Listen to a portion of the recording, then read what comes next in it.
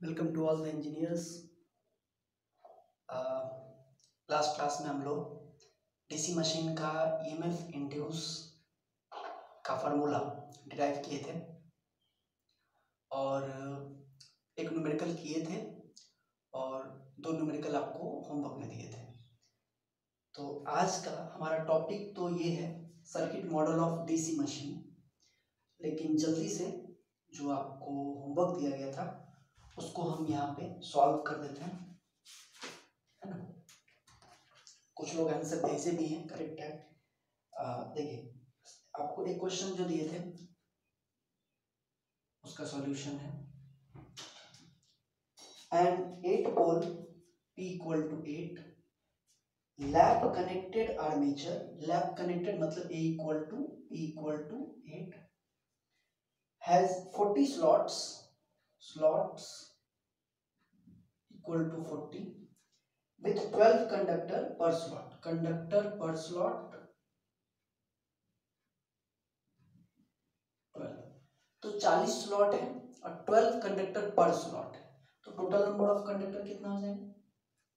40 into twelve चालीस slot और 12 conductor पर स्लॉट 480 और उसके बाद आपको कह रहा है कि जनरेटेड वोल्टेज दे रहा है इसमें। 500 volt generated voltage 500 volt speed निकालना है आपको आरपीएम में ठीक और फ्लक्स पर पोल 50 मिली वेबर ठीक तो इस क्वेश्चन में आ, कुछ नहीं है बस हम लोग यूज़ करेंगे अपना formula equal to Z P N phi upon A volt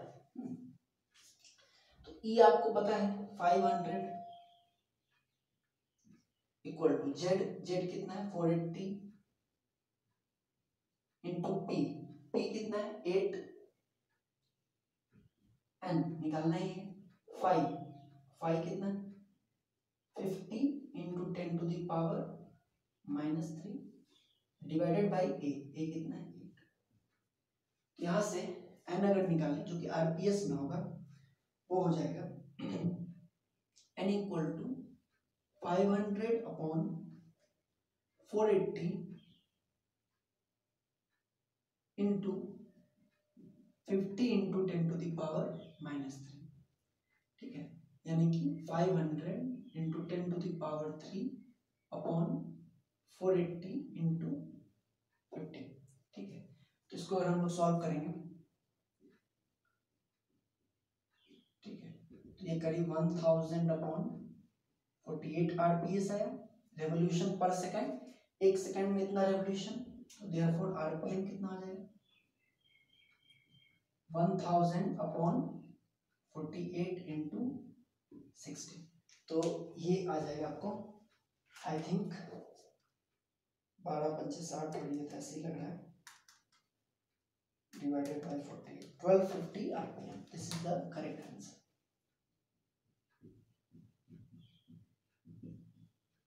ठीक है? तो ये एक क्वेश्चन था।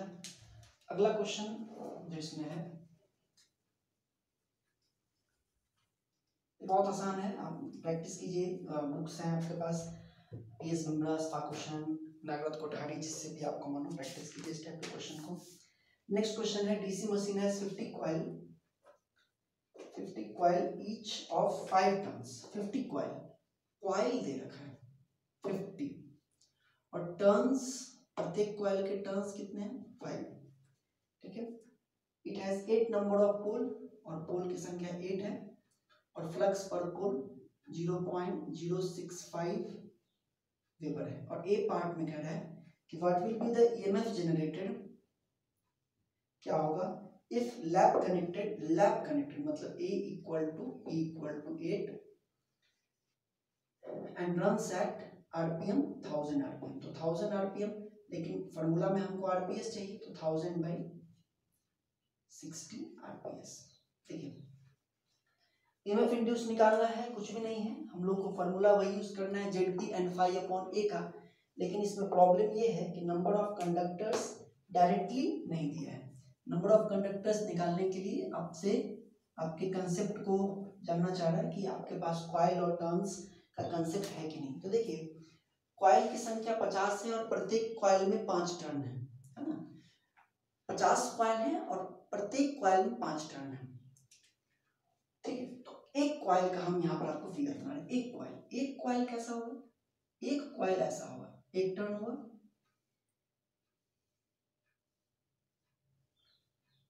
दो टर्न तीन टर्न चार turn one two three four एक और। ये पाँच टर्न फाइव टर्न्स प्रत्येक क्वाइल में पाँच टर्न अब जो एक क्वाइल है, उसमें कितने कंडक्टर्स होंगे? पाँच टर्न मतलब कितने कंडक्टर दस कंडक्टर कौन कौन ये एक, दो, तीन, चार, पाँच, छ, सात, आठ मतलब ये पूरा का पूरा छ, सात, आठ, नौ, दस। पाँच कंडक्टर इस तरफ़, पाँच कंडक्टर इस तरफ़, है ना? तो एक क्वाइल में पाँच टर्न है मतलब एक क्वाइल में दस कंडक्टर है। तो पचास क्वाइल में कितने कंडक्टर होंगे? पाँच सौ है ना? तो since conductor in one coil ये conductor per coil equal to ten पाँच टर्न दस conductor therefore, z total z total equal to 10 into 50 equal to 500 500 conductors total number of conductors कितना हो? गए 500 अब आप निकाल लीजिए। तो E equal to Z T N five upon A का यूज़ करेंगे। तो जेड कितना है? 500 hundred into P eight N पता है आपको? Thousand by sixty Z P N five five कितना है? Zero point zero six five upon A lap connected इसलिए ए कितना आ जाएगा? एट एट एट जाएगा। ये वैल्यू आ जाएगी आपको।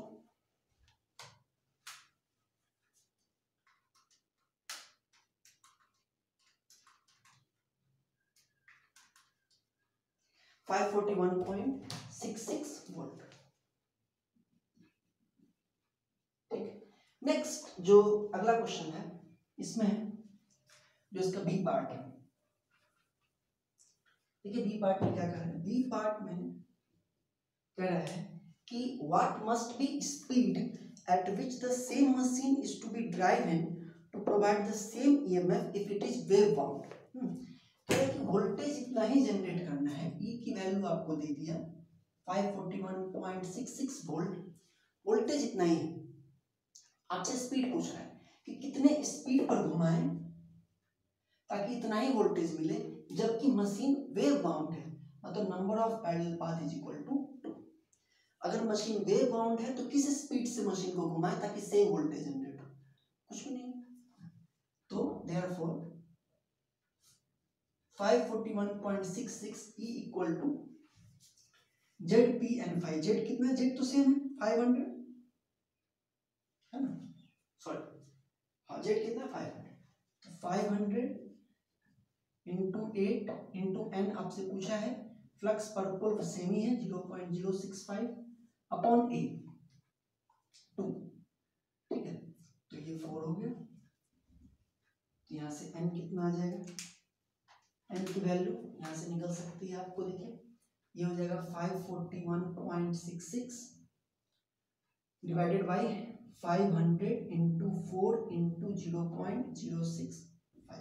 तो देखते हैं जरा ये कितना आता है।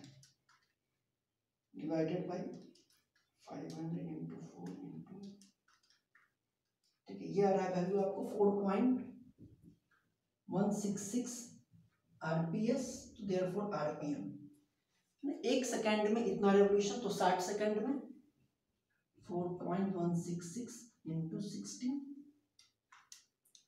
जो कि हो जाएगा two forty nine point nine nine तो इस तरह के क्वेश्चन सिंपल सिंपल हैं, और भी क्वेश्चन आप कर सकते हैं। आइए, अब हम लोग स्टार्ट करते हैं अपना आज का topic circuit model of DC machine circuit model of DC machine क्या है और इसका क्या इंपॉर्टेंस है, क्यों पढ़ रहे हैं?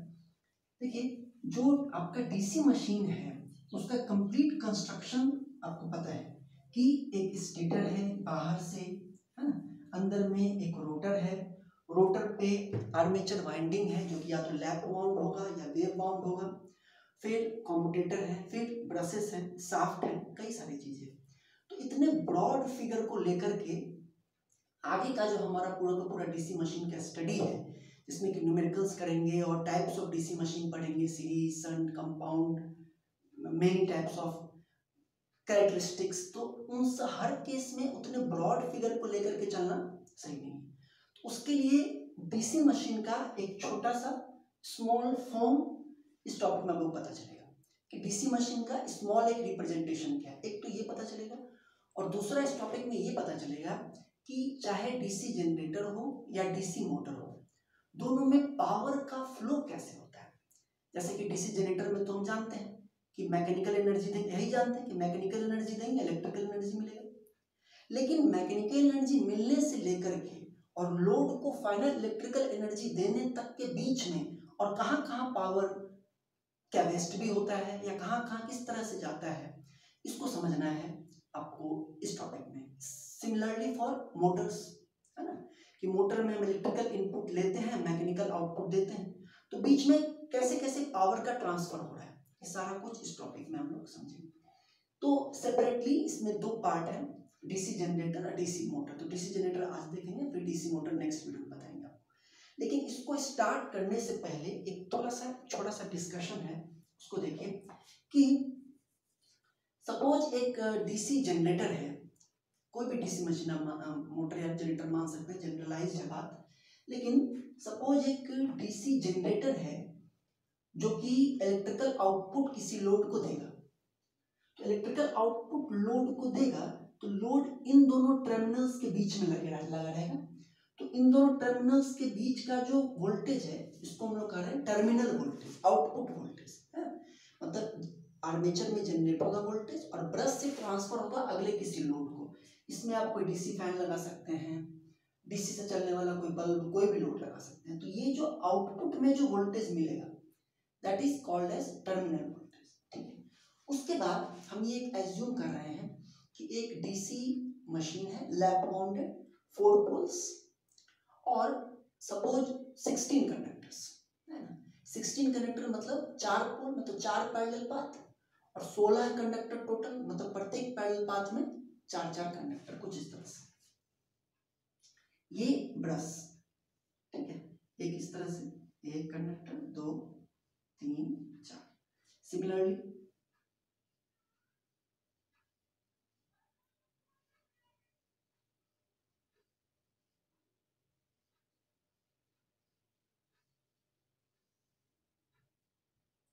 ठीक है?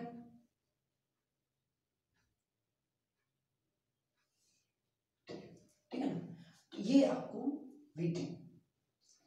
और ये चार पैरेलल पाथ में चार चार कंडक्टर देखिए हर एक कंडक्टर का अपना रेजिस्टेंस होगा और हर एक कंडक्टर का चूँकि लेंथ सेम है area of cross section same है मटेरियल सेम है तो हर एक का रेजिस्टेंस भी क्या होगा? सेम होगा।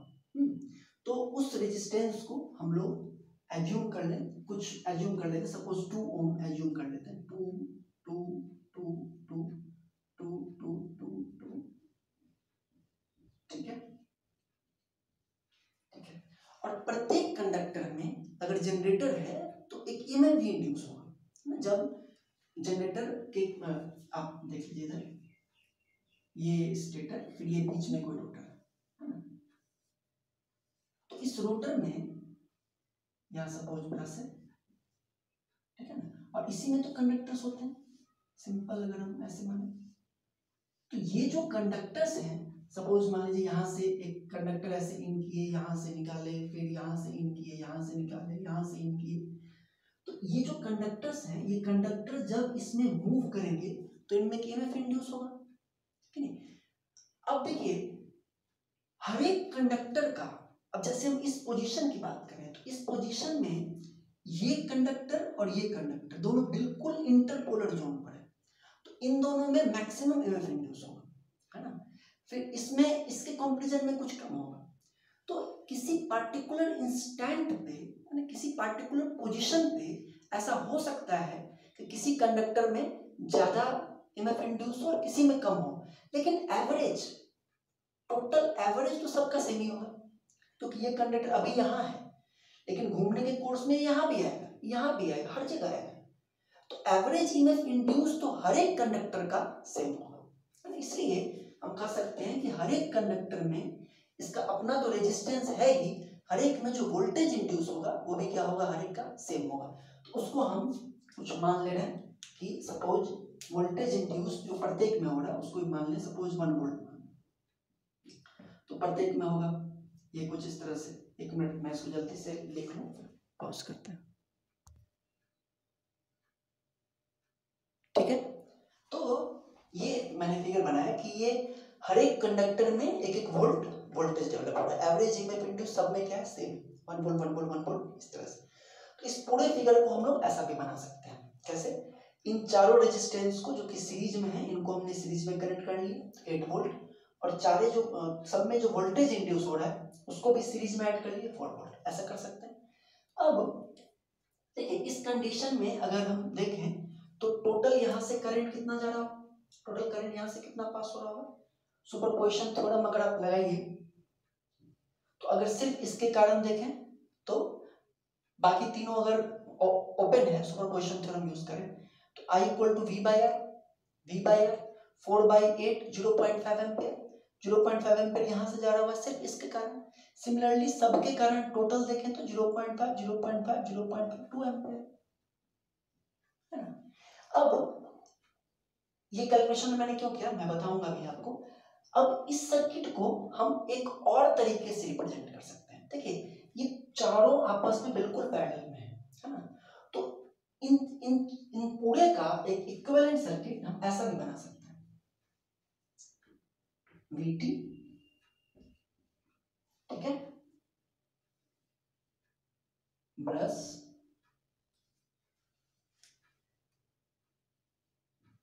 eight eight eight eight और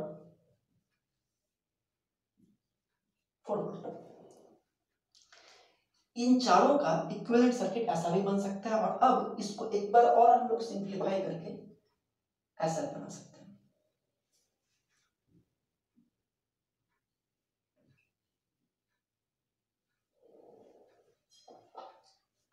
अच्छा नीचे भी है।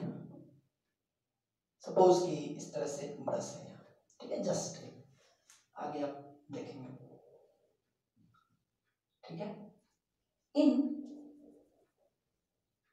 इन चारों जो पैरेलल में एट ओम रेजिस्टेंस है, इनका पैरेलल कॉम्बिनेशन कितना होगा? Two ohm. क्योंकि one by eight plus one by eight plus one by eight four by eight फिर उसको रिवर्स करेंगे तो eight by four two ohm. तो इन चारों को कंबाइन करके कंबाइंड रेजिस्टेंस टू ओम। और यहाँ पर जो, ये जो फोर वोल्ट है, इसको ऐसे रिप्रेजेंट क्योंकि रोटर में इंड्यूस हो रहा है। इसलिए उसको ऐसे रिप्रेजेंट करें। कितना? फोर वोल्ट तो देखिए, अभी भी इस केस में भी, इस केस में भी अगर यहाँ से जो लोड को जो करंट मिल रहा है, वो निकाले तो कितना होगा? I equal to V by R four by two two ampere है यानी कि जो ये सर्किट है, किसी मशीन का उसी का इक्विवेलेंट ये है, उसी का इक्विवेलेंट ये है और उसी का इक्विवेलेंट ये है।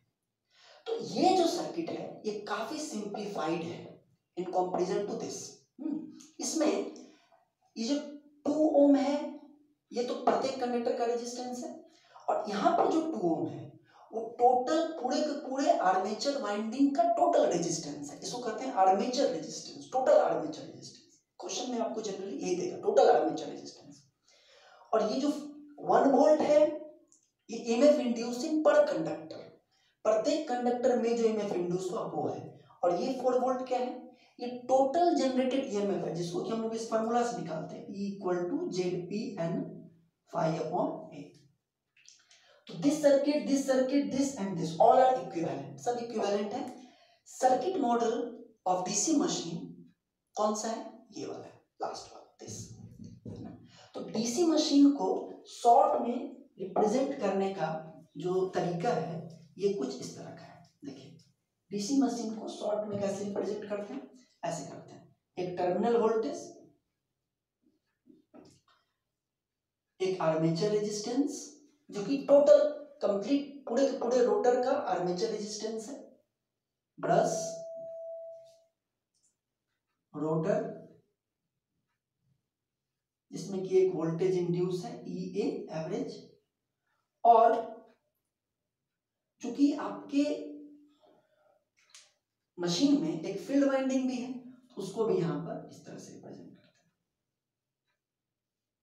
प्लस माइनस वी एफ़ मतलब फ़ील्ड वाइंडिंग इलेक्ट्रोमैग्नेट है तो वी एफ़ मतलब field voltage supply R F field winding का रेजिस्टेंस और आई एफ़ फ़ील्ड वाइंडिंग से करें ये है डीसी मशीन का सर्किट मॉडल अब हम लोग अलग अलग देखेंगे जनरेटर का और मोटर का।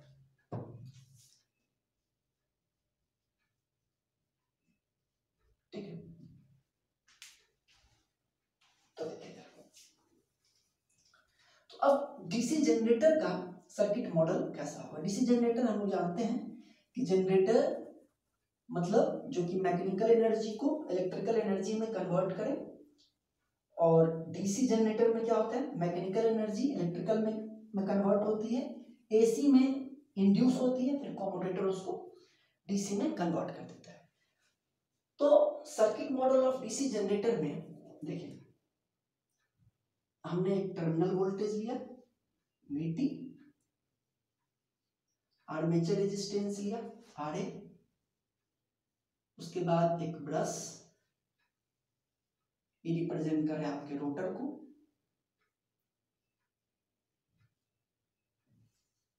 और रोटर के अंदर ये एक साफ्ट। अब चूँकि ये जनरेटर है, इसलिए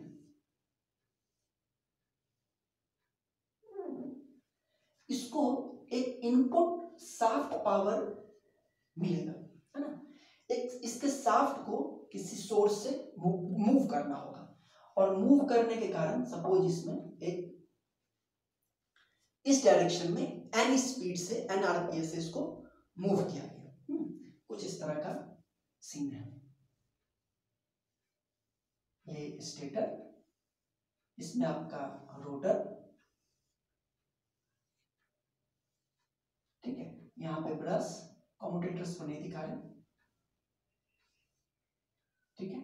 यहाँ सपोज़ नॉर्थ पोल यहाँ साउथ पोल और इसमें हम मान रहे हैं कि एक कंडक्टर हम यहाँ से इन किए और इसको 180 डिग्री वन पोल पिच से यहाँ से निकाले, फिर एक कंडक्टर यहाँ है, इसको इससे 180 डिग्री पे निकाले, एक कंडक्टर यहाँ डाले, इसको यहाँ से निकाले। तीन, हम मान रहे हैं कि नॉर्थ पोल में क्वाइल साइड और तीन आपको इधर साउथ पोल में। ठीक है? अब इस रोटर को साफ्ट है, इसको हम इस डायरेक्शन में घुमा दें तो जो नॉर्थ पोल में जो कंडक्टर्स हैं, इसमें जो इमेज इंड्यूस होगा, उसका डायरेक्शन राइट हैंड रूल से निकल सकता है। मैग्नेटिक फ़ील्ड इधर, जो नॉर्थ पोल के अंदर कंडक्टर्स हैं, ये ऊपर की तरफ़ मूव कर रहे हैं। मैग्नेटिक फ़ील्ड इधर मूवमेंट ऊपर इमेज इंड्यूस अंदर की तरफ़ क्रॉस सिमिलरली जो साउथ पोल में है, इसमें ये नीचे की तरफ़ मूव कर मैग्नेटिक फ़ील्ड इधर मूवमेंट नीचे तो इमेज इंड्यूस बाहर की तरफ़ डॉट ठीक ये ईएमएफ e इंड्यूस हुआ इसमें तो ईएमएफ e तो इंड्यूस होगा, है ना? और ईएमएफ e इंड्यूस होगा, ये, और अगर यहाँ पे कोई लोड कनेक्टेड होगा तो लोड से करंट भी जाएगा। आइए, अब जैसे ही करंट जाएगा, यानी इन कंडक्टर से जैसे ही करंट जाने लगा, इधर से करंट इन कर रहा है, इधर से निकल रहा है, फिर इधर से इन कर रहा है, इधर से निकल रहा है, इधर से इन कर रहा है, इधर से निकल रहा है। फिर फाइनली आपको ब्रश से आउट जा रहा है। तो जैसे ही कंडक्टर से करंट पास करेगा तो फैराडे का सेकेंड लॉ लगेगा कि current carrying conductor placed in a magnetic field experiences a force यानी इन कंडक्टर पे एक फोर्स तो साफ्ट का लग ही रहा है जो कि इसको एनी स्पीड से मूव कर रहा है। लेकिन एक और फोर्स लगेगा, जिसको हम लोग इलेक्ट्रोमैग्नेटिक टॉर्क कहते हैं। हम्म। उसका direction Fleming's left hand rule तो जो नॉर्थ पोल के अंदर कंडक्टर्स हैं, उन पर फ्लेमिंग लेफ़्ट हैंड रूल लगा है ये मैग्नेटिक फ़ील्ड ये करंट और ये टॉर्क तो मैग्नेटिक फ़ील्ड इधर करंट का डायरेक्शन अंदर इस पर टॉर्क किस डायरेक्शन लग रहा है? नीचे की तरफ़. मतलब साफ्ट से हम इसको मूव कर रहे हैं, ऊपर की तरफ़, और टॉर्क इस पे लग रहा है, नीचे की तरफ़. ये चीज़ हम लोग बेसिक ऑफ़ जनरेटर में भी देख रहे थे, कि जनरेटर में जो जो इलेक्ट्रोमैग्नेटिक टॉर्क लगता है, वो साफ्ट पे जो हम फोर्स लगाते हैं प्राइम मूवर टॉर्क के अपोजिट डायरेक्शन में होता है इलेक्ट्रोमैग्नेटिक टॉर्क तो इन कंडक्टर्स पे नीचे और इस पे आप देखेंगे कि ऊपर रहेगा देख लीजिए मैग्नेटिक फ़ील्ड इधर conduct sorry left hand magnetic field इधर कंडक्टर मोशन करंट इस तरफ़ बाहर तो टॉर्क ऊपर. यानी कि इस शाफ्ट पे हम हम इसको इस तरफ़ मूव कर रहे हैं लेकिन इस पे इलेक्ट्रोमैग्नेटिक टॉर्क का डायरेक्शन कुछ इस तरह से होगा। हम्म, तो ये है आपका जनरेटर केस का ये और इसमें एक ऐसे भी बनाना ज़रूरी है।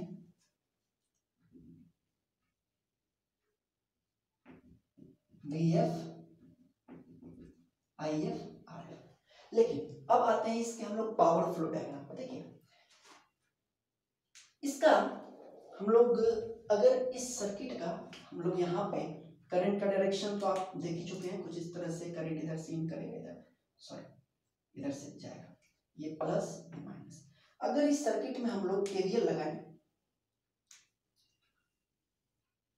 और केवीएल लगाने से पहले एक और इम्पोर्टेंट बात ये समझ लेते हैं कि ये जो ब्रश है, इन ब्रशेस का भी अपना एक रेजिस्टेंस होता है, जैसे हम लोग कार्बन और ग्रेफाइट का यूज़ कर रहे हैं। तो जनरली जो स्टैंडर्ड एक लिया गया है कि चाहे कितना भी करंट इस सर्किट में फ्लो करे, हम लोग ब्रश का जो वोल्टेज ड्रॉप है, ब्रश के क्रॉस जो वोल्टेज ड्रॉप है, उसको प्रत्येक ब्रश का वन वोल्ट लेके चलेंगे। यानी कंबाइंड दोनों ब्रश का अगर वोल्टेज ड्रॉप को देखें तो टू वोल्ट लेंगे हाँ। एक बात और ये इंपॉर्टेंट है कि अगर क्वेश्चन में आपसे कहता है कि take brush voltage drop also तभी लेंगे। अगर नहीं कर रहा है तो उसको नेग्लेक्ट करके चलेंगे। लेकिन हम यहाँ पे लेंगे। ब्रश के वोल्टेज ड्रॉप को हम इंक्लूड करेंगे। तो और ब्रश का वोल्टेज ड्रॉप की पोलरिटी उसी तरह से होगी जैसे रेजिस्टेंस में होती है। जैसे कि यहाँ पर रेजिस्टेंस हमको पता है, जिस तरफ़ से करंट इन करता है, वहाँ प्लस लेते हैं। इधर से करंट इन किया, यहाँ प्लस यहाँ माइनस तो सिमिलरली इसमें नीचे से ऐसे इन कर रहे तो प्लस माइनस इसमें इधर से इन कर रहे तो प्लस माइनस इसमें केवीएल लगाए तो केवीएल इक्वेशन क्या लिखेंगे? यहाँ से अगर यहाँ से चलते हैं तो सबसे पहले माइनस है तो minus I A R A minus one इसका voltage drop plus E A minus one minus V T equal to zero तो therefore V T equal to E A minus I A R A minus two ये equation से आपको क्या पता चल रहा है कि वोल्टेज जनरेट हुआ ई e में मतलब रोटर में कितना ई e और आउटपुट को कितना मिल रहा है वी क्या सेम मिल रहा है? नहीं। जो वोल्टेज जनरेट हुआ रोटर में, उसमें से कुछ हुआ वोल्टेज ड्रॉप किसके क्रॉस आर्मेचर रेजिस्टेंस के क्रॉस और कुछ हुआ वोल्टेज ड्रॉप ब्रश के क्रॉस उसके बाद मिला है किसको? वीटी को। मतलब इस केस में, इस केस में E A is greater than VT और एक और बात कि करंट का जो डायरेक्शन है और जो वोल्टेज इंड्यूस का डायरेक्शन है, दोनों का डायरेक्शन सेम है। जनरेटर में ऐसा होना भी है, क्योंकि जनरेटर में रोटर में एमएफ इंड्यूस होगा और रोटर ही करंट सप्लाई करेगा लोड को। तो जनरेटर में यहाँ पे एमएफ इंड्यूस हुआ और लोड को सप्लाई हुआ। ठीक है? तो V T equal to E A minus I R A minus two अब इसको देखें, इसमें हम दोनों तरफ़ अगर आई ए से मल्टीप्लाई करें, दोनों तरफ़ आई ए से मल्टीप्लाई करें तो क्या हो जाएगा? Multiplying both side by I A multiplying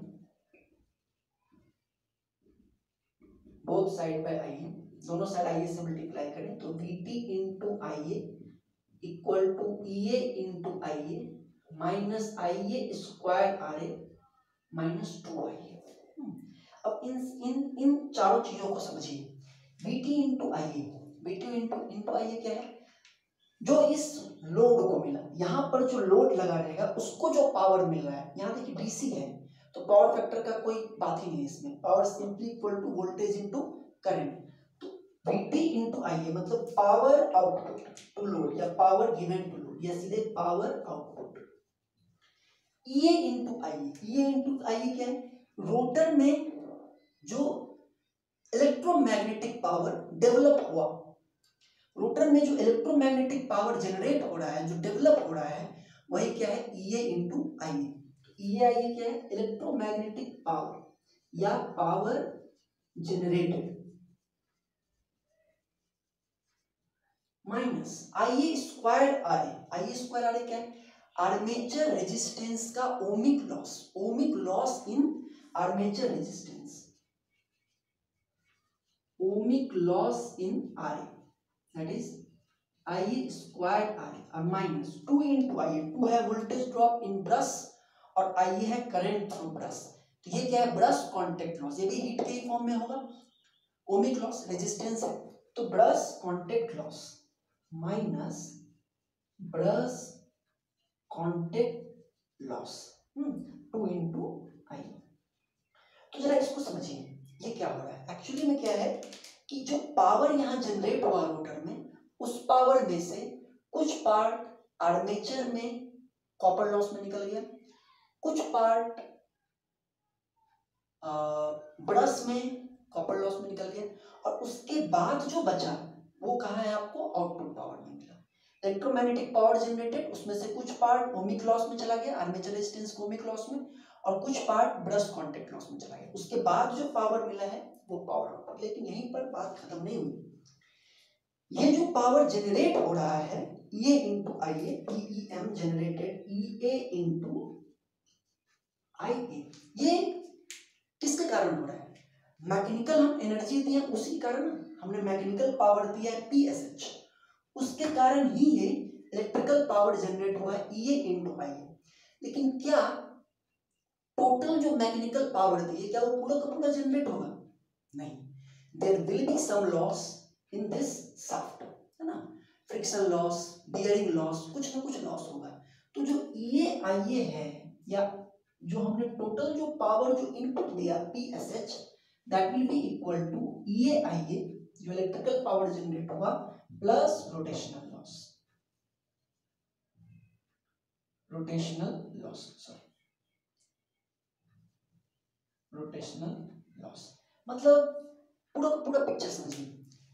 soft power input आया, उसमें से कुछ लॉस हो गया रोटेशनल लॉस तब जो पावर बचा, वो है ई ए आई ए फिर ई ए आई ए में से आर्मेचर का कॉपर लॉस निकल गया और ब्रश का कॉन्टेक्ट लॉस निकल गया। उसके बाद जो पावर बचता है वही किसको मिलता है? लोड को। हाँ तो कंप्लीट अगर हम इसका पावर फ्लो डायग्राम बनाएँ तो कुछ इस तरह का बनेगा। ये सर्किट मॉडल हो गया। और इसका जो पावर फ्लो डायग्राम है जनरेटर का, वो कुछ ऐसा है। Complete power flow diagrams for a DC generator. देखिए, कैसा होगा? कुछ इस तरह का होगा। यहाँ से सॉफ्ट पावर इनपुट और उसमें से कुछ पावर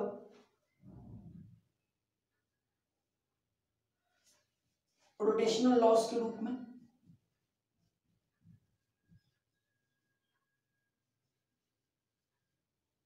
है ना? कुछ पावर रोटेशनल लॉस के रूप में चला गया। और रोटेशनल लॉस के बाद जो पावर बचा वो क्या है? टीएम इलेक्ट्रोमैग्नेटिक पावर ये आई अब इसमें से भी कुछ लॉस होगा। सबसे पहले I A square R A ohmic loss in armature resistance उसके बाद एक और लॉस होगा। Brush contact loss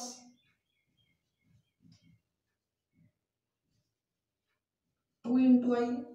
और उसके बाद जो पावर बचेगा that will be power output तो ये है power flow diagram for a DC generator और ये आपने समझा किस तरह से क्या है, ठीक है? तो ये डीसी जनरेटर का हो गया डीसी मोटर का हम लोग नेक्स्ट क्लास में पढ़ेंगे। पढ़ाई पर आप लोग ध्यान देंगे। और जो भी वीके मेहता आर के राजपूत से आप क्वेश्चन बैंक बना रहे हैं, उसको धीरे धीरे आप डीसी मशीन बनाइए, है ना? क्वेश्चंस बनेंगे अब, ठीक है? अगले क्लास में लोग डीसी मोटर का सेम टॉपिक पढ़ेंगे।